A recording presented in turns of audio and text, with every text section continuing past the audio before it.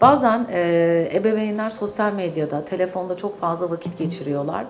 E, ve böylelikle çocuklarına karşı pasif, kayıtsız, ilgisiz ebeveyn e, durumunda olabiliyorlar. E, o ebeveynler için çocuğun varlığıyla yokluğu e, çok belli olmayabiliyor. Özellikle boş bulundukları, sosyalleşebilecekleri anlarını çocuklarına ayırmak yerine telefona ve sosyal medyaya ayırabiliyorlar. E, yani çocuk anne babayı rahatsız etmediği müddetçe anne baba açısından herhangi bir sorun olmuyor. Yani çocuğun herhangi bir problemi olduğunu anne baba bazen fark edemiyor.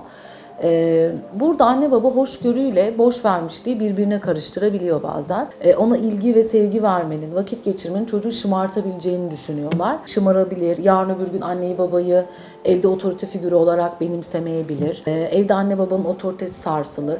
Bunu doğru kabul ediyorlar ve diyorlar ki biz de böyle büyüdük. Ee, bize de işte annemiz babamız çok fazla ilgi göstermezdi. Ee, gibi bilimsel herhangi bir gerçekliği olmayan düşüncelerle çocuklarına karşı kayıtsız kalıp yakın ilişki kurmaktan, onlarla vakit geçirmekten e, kaçınabiliyorlar. Çocukların gerçekten ilgiye, sevgiye, şefkate ihtiyacı olduğunu ebeveynlerin fark etmesi.